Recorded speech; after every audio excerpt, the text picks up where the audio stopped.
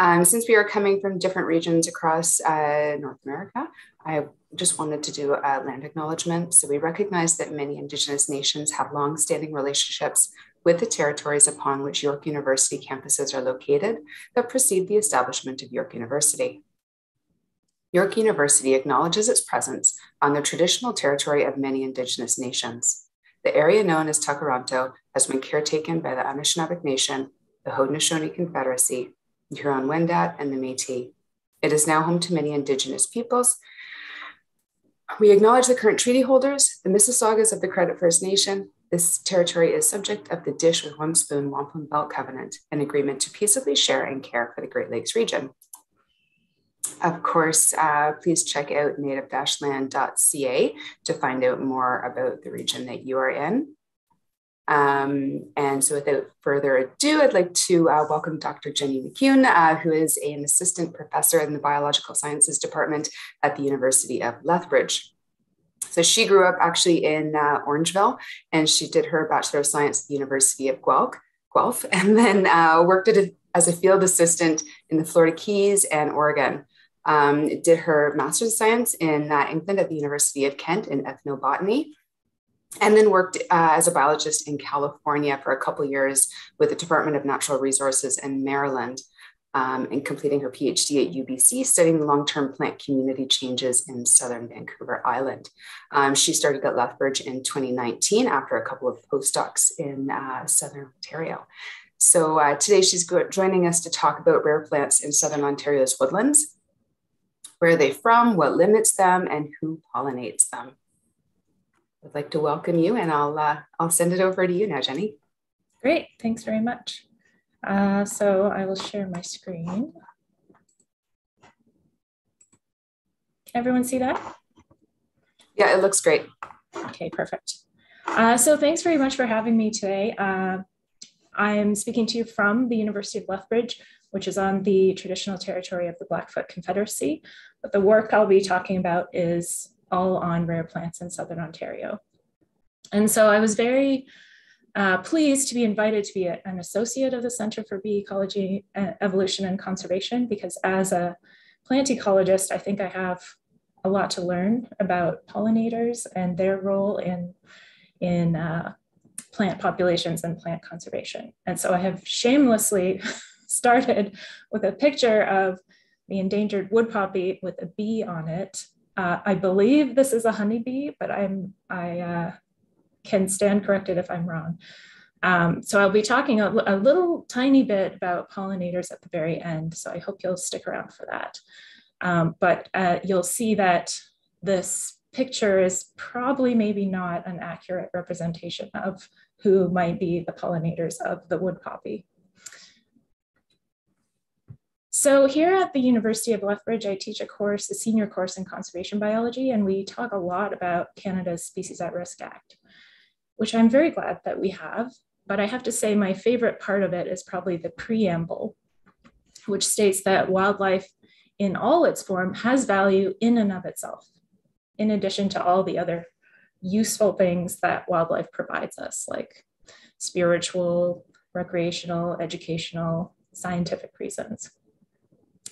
And so I really appreciate this sentiment that species have value just for their own merits. And so then, helpfully, the Species at Risk Act defines wildlife. And wildlife is much broader than perhaps many people in the general public think of it. So, a wildlife species is a species, subspecies, variety, or genetically distinct population of animal, plant, or other organism. So everything except for bacteria and viruses.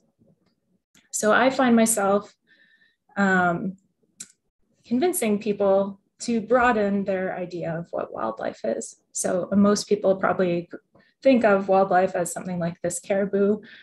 Perhaps the folks in your group do a lot of work explaining to people that also things like bumblebees are wildlife. And I like to emphasize that this little spotted wintergreen plant here also is wildlife. It's wild and it's alive. And so the talk I'm going to give you today is just kind of an overview about some of the work I've been doing on rare plant ecology and conservation in Southern Ontario since about 2014. So I'm going to start with basically the questions that we're asking are some of the most basic questions you can ask. So rare plants, where are they and what limits them? Then I'll talk a little bit about um, some work. We're just getting started doing experimental translocations, which kind of can, can accomplish two goals, testing ecological theory about what limits these species, but also hopefully improving and aiming for actual recovery of some of the rarest plants in Southern Ontario. Then I'll talk about um, a collaboration I've had with some colleagues here and back in Ontario testing genetic differentiation of one of our rarest plant species and then I'll end up with uh, a, just a very pilot study that we uh, started last summer looking at um, insect visitors to one of our rarest plants. So first of all, where are they? Well, it's very clear that Southern Ontario is a hotspot for rare plants in Canada. This is from an older uh, rare plant database um, from 1994, and I'm actually not sure how precisely a rare plant was defined, but you can see that there's really a hot spot where you are in Southern Ontario. Here's a more recent map. So this is for all species at risk in Canada, looking at the overlaps of their ranges. And you can see again, even if you're including everything else other than plants, Southern Ontario is a real hotspot. There's a couple reasons for this. For one thing, we have kind of the northern tip of the Carolinian or deciduous forest zone that kind of creeps into Southern Ontario. And at the same time, this is one of the most densely populated uh, by humans area in our country. And so a lot of the landscape, as you know, looks like this. So prior to European settlement, um, Southern Ontario was probably somewhere around 80% forested. Now, depending where you are, uh, which county, it ranges from about 5% forest cover to 40 or 45 in some counties. And so with so many people around and so few, relatively few natural areas of habitat left, you would think we would have a pretty good idea of where our rare plants are, are growing. But actually there's a lot of uncertainty about this. Um, so this is from the Natural Heritage Information Center kind of database. And uh, this is the broad beech fern, which is a special concern species. And so according to the records, you know, we think there's at least 40 occurrences, but probably closer to 50. Most of the populations are on private land, which means perhaps there aren't as many botanists going out and surveying them. And many records are old. So we have a lot of uncertainty about where the species is and how it's doing. Now that's a fern, which is relatively, uh, you know, perhaps blends in and, and might take some specialist knowledge to recognize. But even something as bright and sort of obvious as the wood poppy, we have uncertainty about. So this species was first collected in Ontario in way back in 1887 at a site near London. And then no one saw it, no one collected it again for basically a century. There were some sightings of it, but no collections in the 70s. And then a population was discovered in 1987. When the status report was written in 2007, there were three known populations. And the authors of the report figured, you know, this thing is so bright and beautiful, it's unlikely to have been seriously overlooked. However, a fourth population was found in 2010 and then me and my field assistants found another one in 2015. So it is true that this plant is very stunning and beautiful, but really only for two to three weeks when it's flowering. The rest of the time, it can really blend in with the rest of the understory vegetation. And here's an example. So this, the arrows are pointing to four patches of blooming wood poppies. But you can imagine if you walked by at this distance, it actually would be quite easy to miss them. Um, so I'm not at all certain that we have only five occurrences of wood poppy. I, I trust and believe that it is quite rare, um, but we don't know for sure that that's all that we have. So then I asked myself, okay, how can we do better at finding these, these populations that no one knows about, especially on private land? How can we target places that we should be searching so that we can make our field work more efficient? And one way to do that is to use species distribution models. So uh, folks in Europe and lots of other places have used these to prioritize areas to search for rare species, not just plants, but animals too. And the basic idea is if you have records of where a species grows, you put those in. So this is a segment of the known occurrences of green dragon in Southern Ontario. So you can see we have records of it all along the Maitland River here, um, extending in from Goderich. So you feed that into the model, you feed in some geospatial data on climate and soils and underlying geology, and you get an outcome like this. So each of these tiny little orange or red squares are areas that the model predicts has suitable habitat for the green dragon. And so you can see quite clearly here that if we have all these records of green dragon on the Maitland River, it looks like we should also be looking along the Bayfield River down to the south here.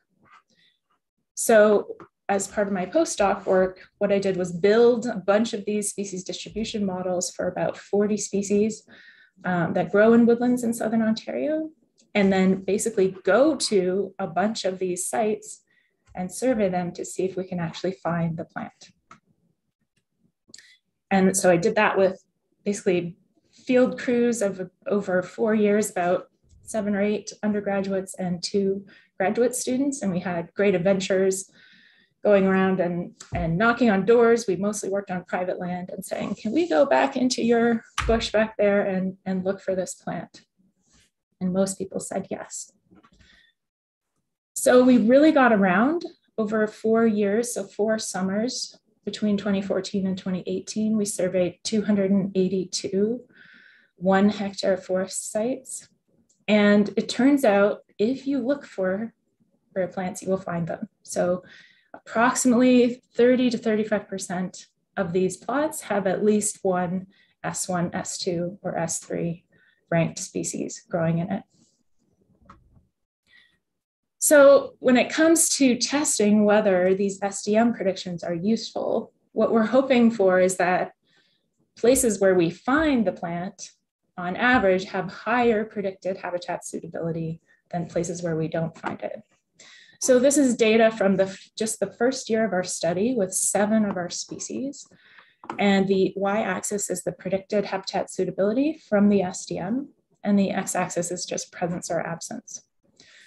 So if I put the data on, the, the bars are the means. So you can see that for most species, on average, we're seeing the pattern that we hope to see, where there is a higher average suitability in places where the plant grows. There is a lot of variation, and you can see this last species here, Phegopteris, uh, actually had a horrible model where we actually found it, tended to find it in places that were of lower suitability on average.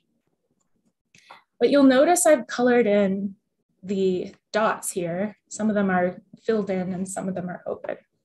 And that has to do with what's going on on the landscape around these sites. So as you know, there's lots of agriculture in Southern Ontario and, and the forest cover is quite fragmented. So what I did is look at each site that we surveyed. So these yellow squares in the middle represent a 100 by 100 meter survey site. And the big circle around them is a 500 meter buffer. So this area is about 80 hectares. So some sites tended to have lots of forest surrounding them, more than half of the circle is filled, and others had much less than 40 hectares. So that's what the different colors in this graph mean. And so you can see that for some species, there's an interaction going on between the habitat suitability according to the model and whether or not there's more or less than 40 hectares of contiguous forest surrounding the site. or of total forest surrounding the site. Um, so particularly for these two species, um, if we only look at places with a large amount of forest habitat surrounding them, there's actually a stronger uh, relationship between the likelihood of finding the species and the SDM prediction. So we might look at all these sites where Arisaema dracontium green dragon was absent, even though it had very high predicted habitat suitability. And all of those sites tend to be in areas with very low amounts of forests surrounding them. So we have some indication that landscape context actually also matters if we, if we want to try and predict where these species are.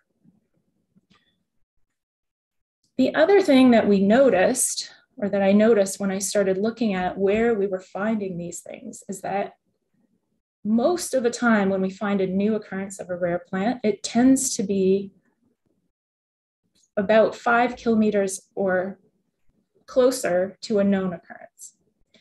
And so I started wondering about whether the dispersal abilities of these species could be affecting their ability to get into suitable habitat on such a fragmented landscape.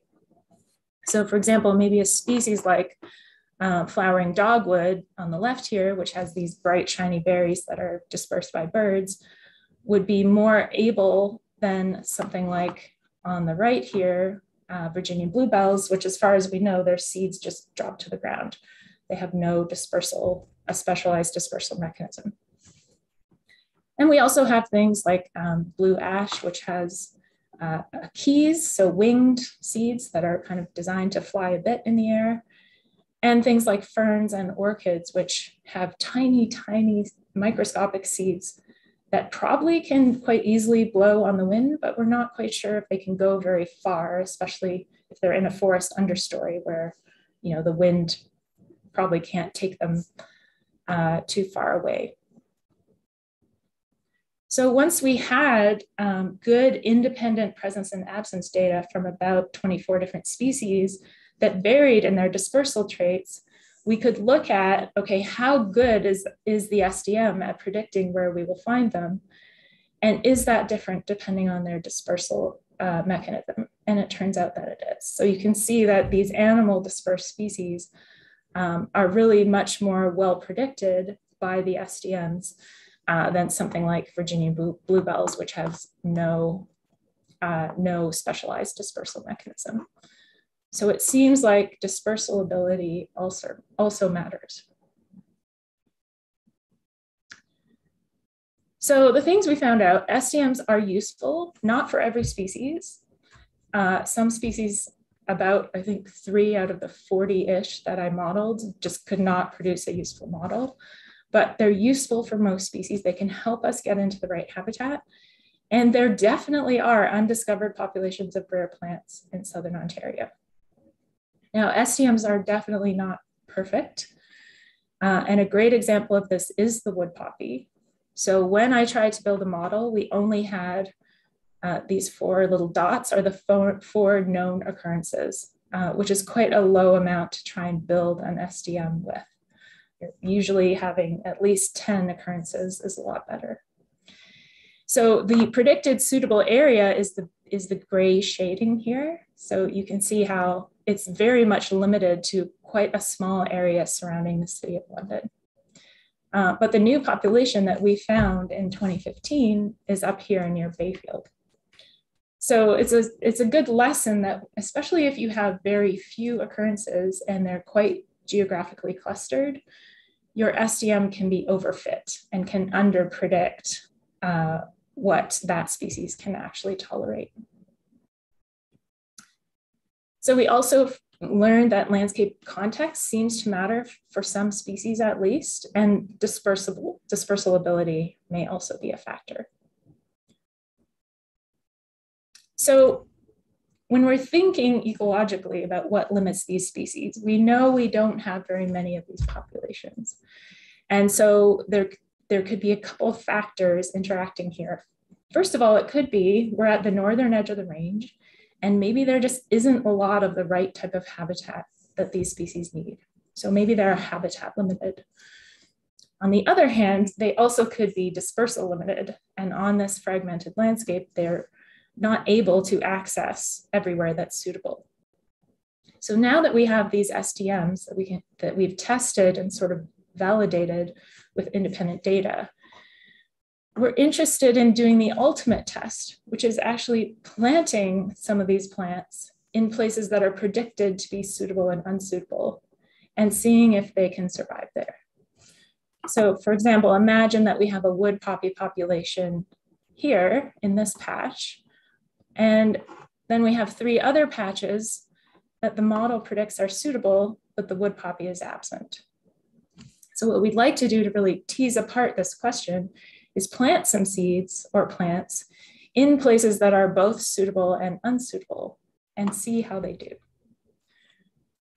At the same time, this could be a way to improve translocation as a recovery tool.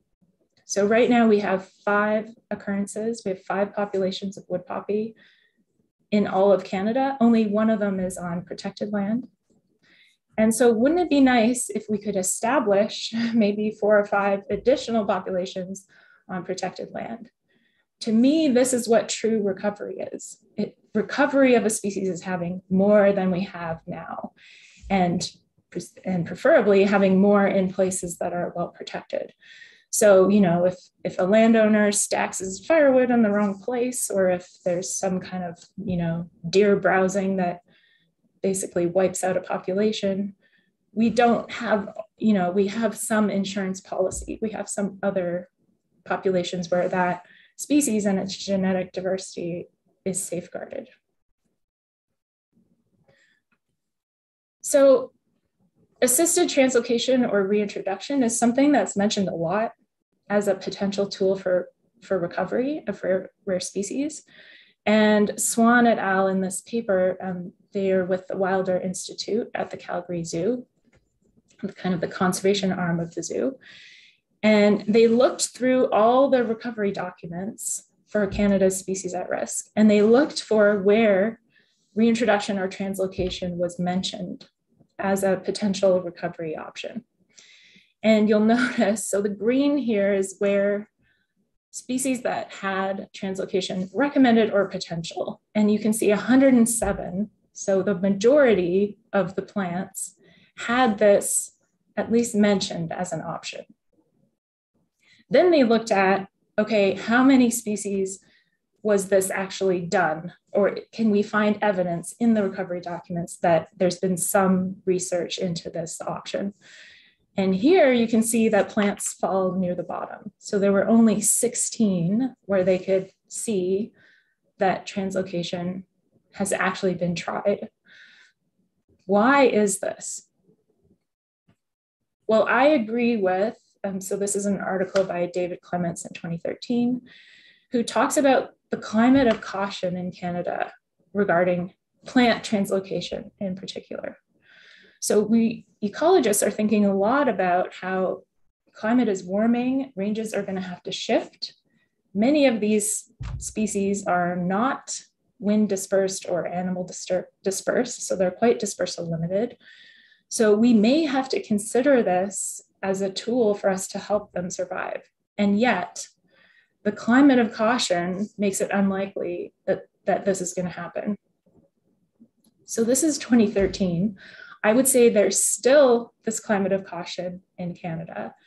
And I have a sort of two theories for why this is. The, the first is that plant translocations are quite hard.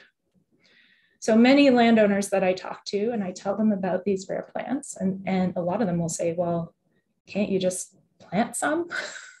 you know, it's kind of an obvious thing to try and do. And the answer is yes, you can. And in places like, um, particularly the United States and Australia, there have been hundreds of experimental translocations of, of rare and endangered plants. Um, but the truth is that many of them fail. So it is hard to do. And particularly because we're sometimes not very good at predicting what good habitat really is. So that's where I hope these species distribution models could help us. The second reason for a climate of caution is that people are really worried that if translocation can be done successfully, it can be used as an, as an excuse that, okay, well, if you want to put your new gravel pit here where there's the population of wood poppy, that's fine, because we'll just establish a new one somewhere else.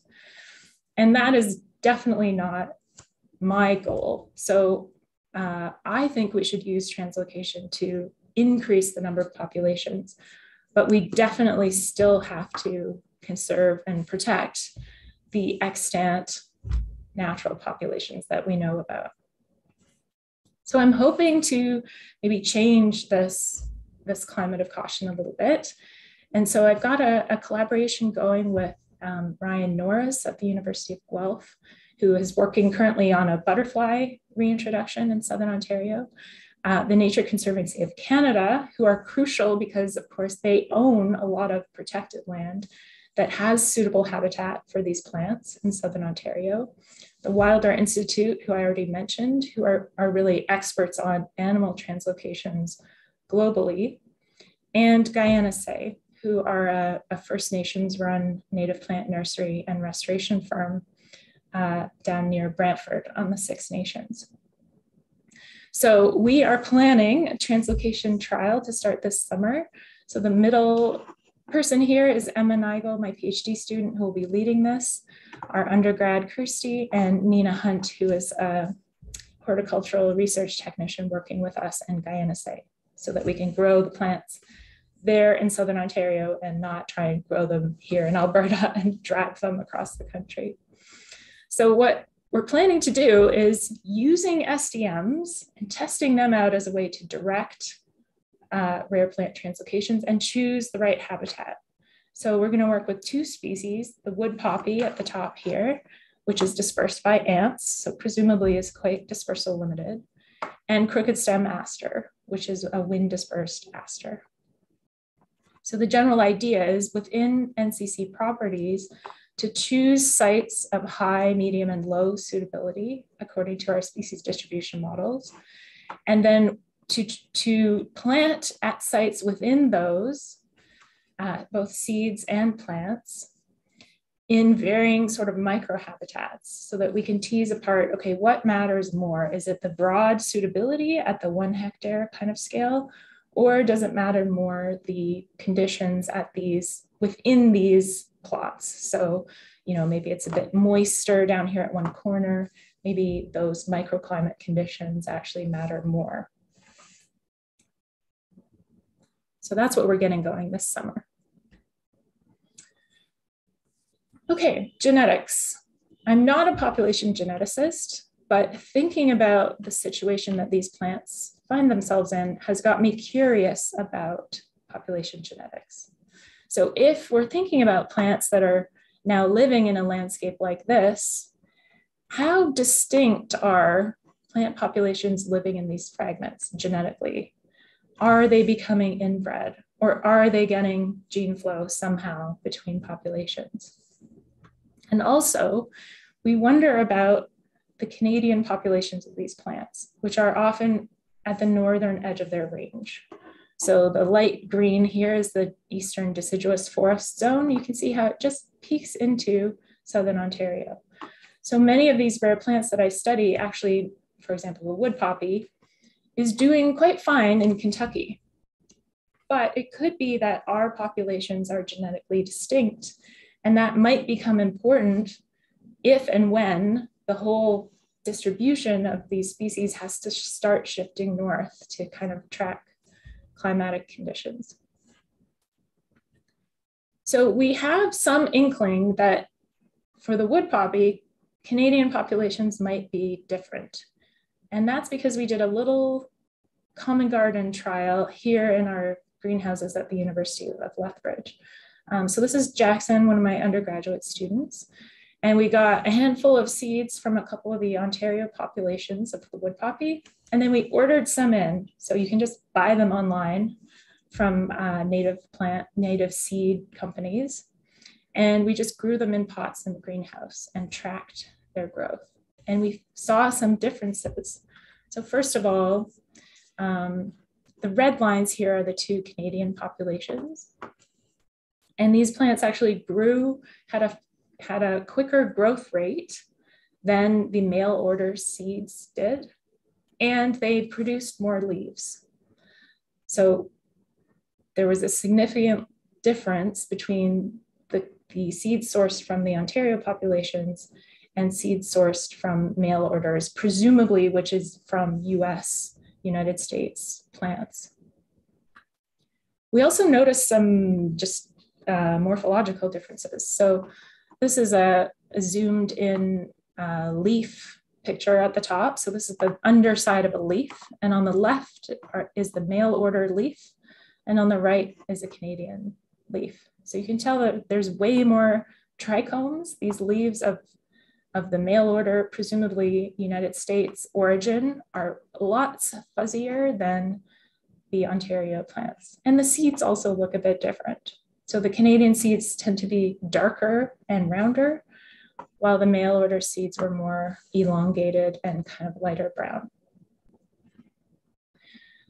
So we wanted to look into the genetics and, and this, the, gen, the population genetics of wood poppy is a long-standing question. It's been written into sort of the main goals of the recovery strategies since they were written. So here you can see in blue the kind of estimated North American, well, global range of the wood poppy.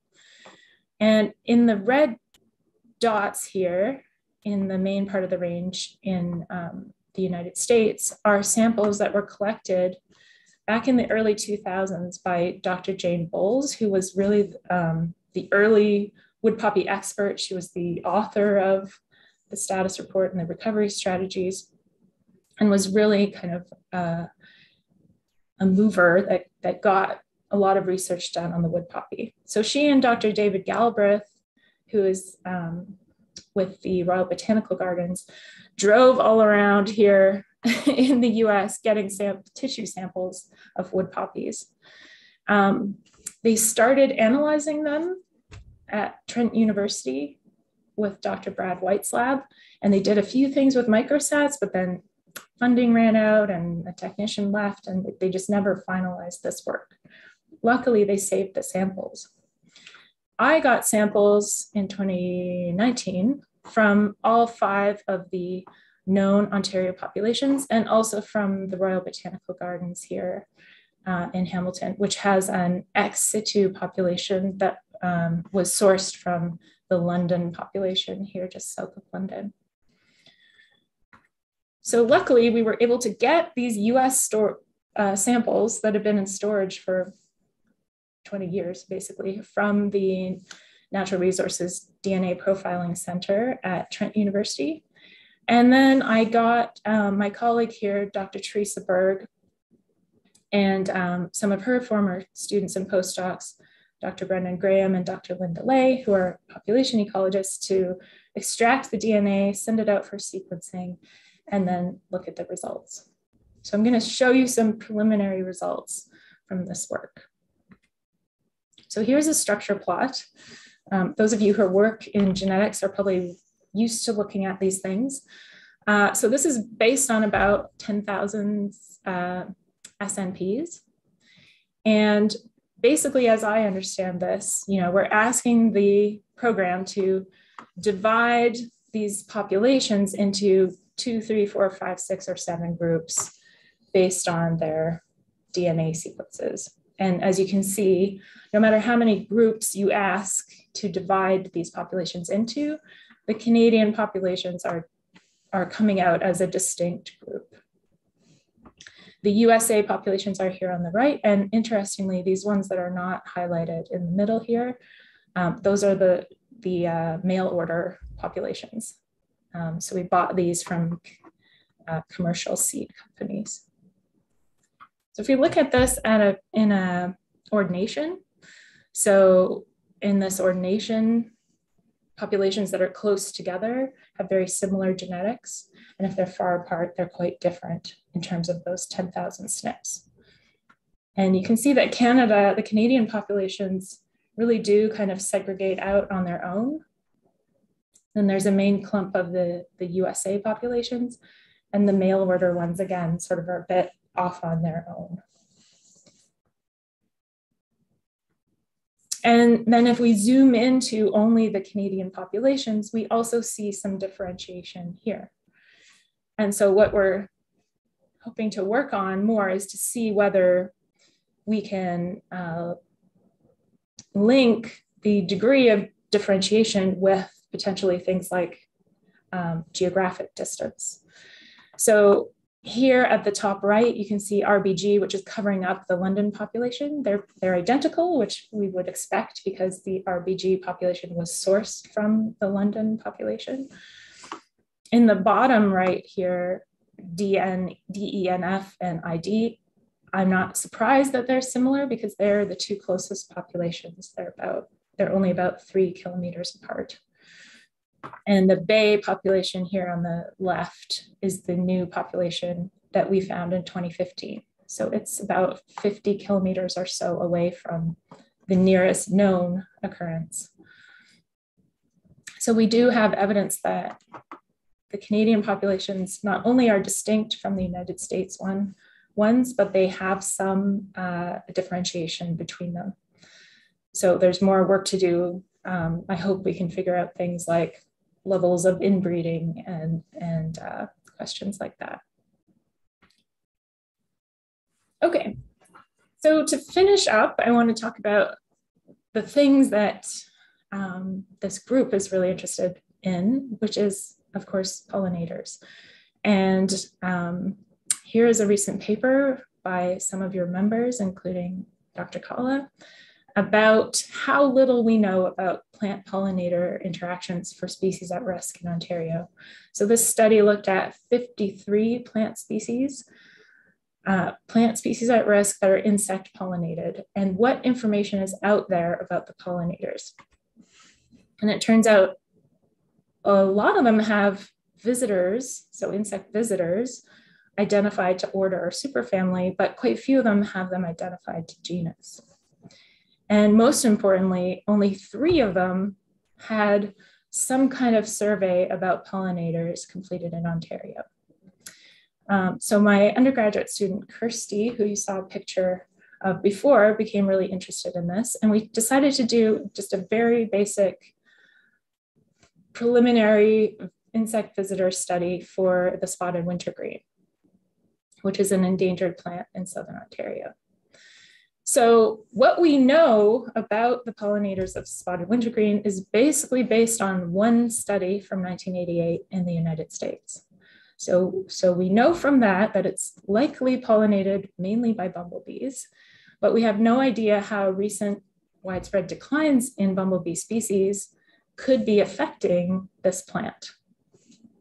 So Kirsty set up a little just four day pollinator observation study where she, you know, defined clumps of flowering plants and she just sat for 20 minutes at each clump and documented what was visiting them, mostly with photos.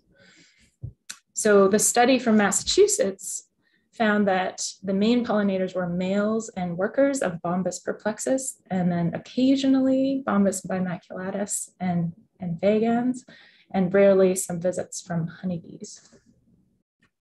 What Kirsty found is that, of course, there were plenty of insect visitors that were not pollinators, probably, like ants and flies and various things. Um, but yes, it seemed like the main things that were um, visiting the flowers in a way that suggests they were um, collecting pollen or nectar were bumblebees. And I, we have not analyzed all of this data that she collected yet. She has millions of photos to go through, but um, maybe some of you here that are used to looking at kind of fuzzy bee photos would take a guess at whether that bumblebee is one of the ones that was the main pollinators um, in Massachusetts. So I think there's a lot of scope and, and that's why I'm so excited to get to know some of the members of this, this group. I think there's a lot of scope for collaboration and maybe figuring out more, you know, how are the how is pollination proceeding with some of these rare plants, um, and and even just the very basics of who is doing the pollination. Even the wood poppy, which is so beautiful, and and uh, you know you would think we would know something about this, um, but the the recovery strategies basically just say, well, it, the flowers appear to be constructed for insect pollination, um, but visits by insects are not commonly observed and plants are capable of self-pollination. Um, so this is a case where we really don't have a clue. Um, so the photo on the right was taken by me at one of the native populations because this insect happened to land there and I took its picture. Um, so I don't know what this insect is or whether it might be a pollinator or not. The picture on the right, which I started out with at the start of my talk, is probably not the best indication because this is a nursery sourced plant growing on my back deck here in Lethbridge. Um, so probably not the best evidence to conclude that honeybees are a, a major pollinator of wood poppies. So this is a mystery as far as I know. So that's all I have. Thanks again for having me. Uh, I always like to thank all the students and collaborators that really have been a part of this work and especially the landowners. Um, so all those 282 sites, um, not all of them are private land, but that represents somewhere between 100 and 150 landowners who said, yes, you can go and look for rare plants on my property. So I really appreciate them. So thanks very much, and I look forward to your questions.